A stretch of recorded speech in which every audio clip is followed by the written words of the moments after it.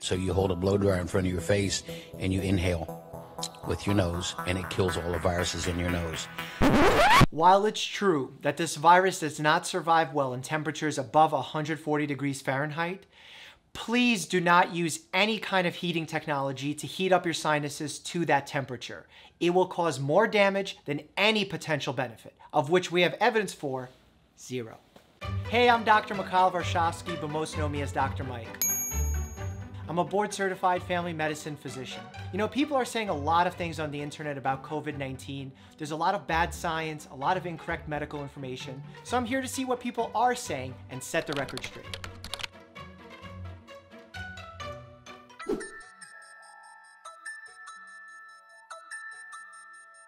Here's why I don't buy into the 5G conspiracy theory. In order to put any kind of medical theory out there, you have to have a plausible mechanism. Basically, a mechanism by which this can potentially happen.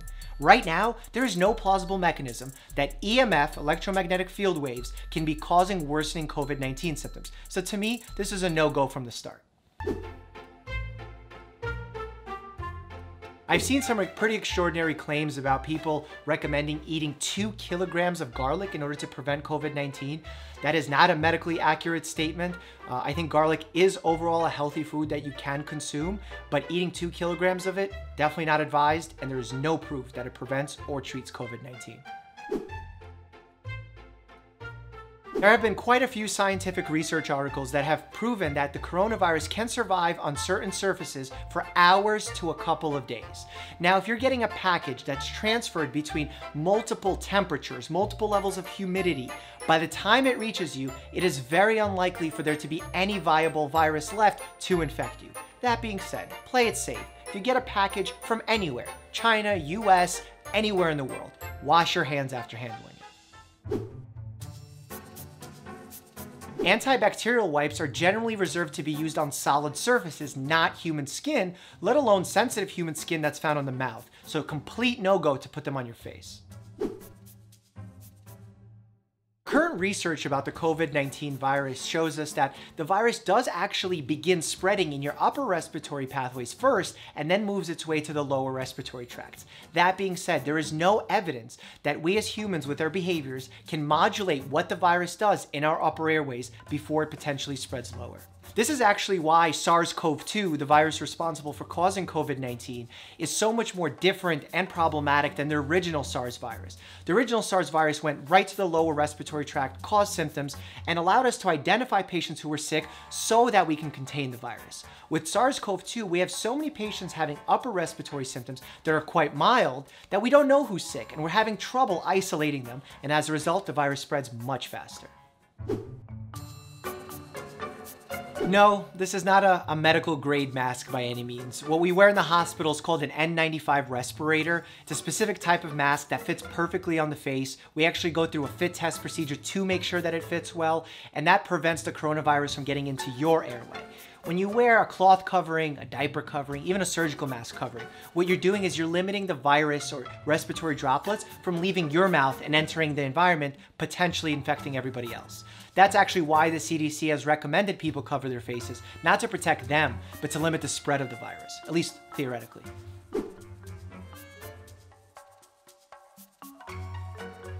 First of all, you should be socially distancing yourself. That means no public pools, hot tubs, or spas.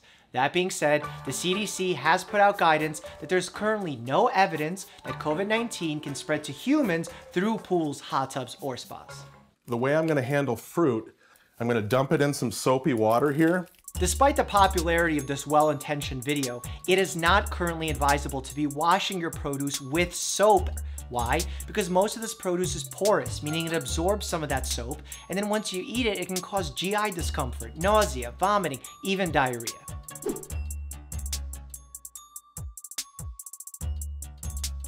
This fact actually originated from a chain letter that implicated Stanford. Stanford then put out a press release saying they had nothing to do with it and that it's inaccurate.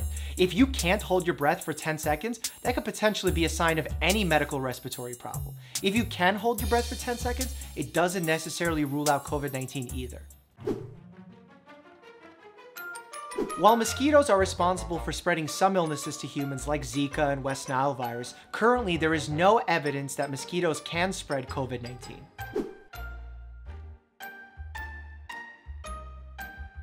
While I routinely recommend nasal saline sprays for my patients who suffer with allergy symptoms or perhaps congestion, there is no evidence to show that these nasal saline sprays also treat or prevent COVID-19.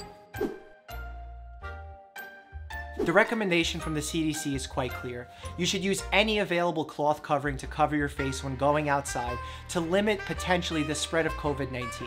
Now, you're not covering your face to give you added protection, so don't use it as a false sense of security. What you're doing is you're protecting others around you. Again, potentially.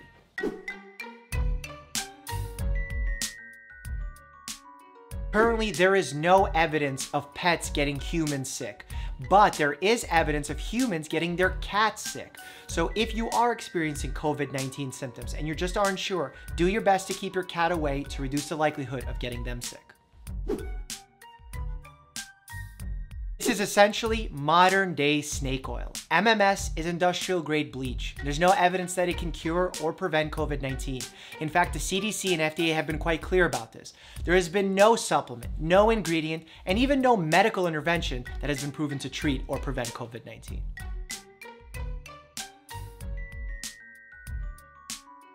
I do recommend for all my patients to stay well hydrated throughout the day to keep their immune system optimized.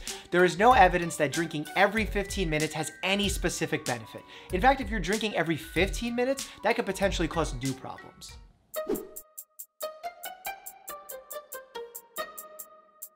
If you enjoy drinking a cup of green tea, go ahead and have a cup of green tea. There's no evidence to say that it will cure, treat, or prevent COVID-19, but then again, I'm a huge tea lover, I do recommend it to some of my patients.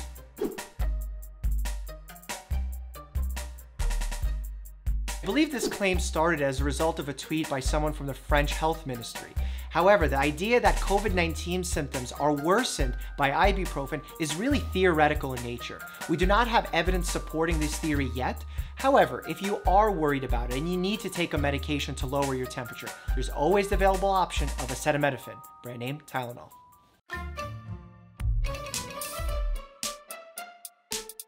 Currently, there is no definitive answer to this question. However, the prevailing thought amongst leading researchers in the field, including Dr. Fauci, is that you will get some immunity after clearing COVID-19, but it's unclear how long that immunity will last. I hope those answers were helpful. Thanks so much for watching. I usually sign off my videos by saying stay happy and healthy, but during the COVID pandemic, let's do something different. Stay alert, not anxious.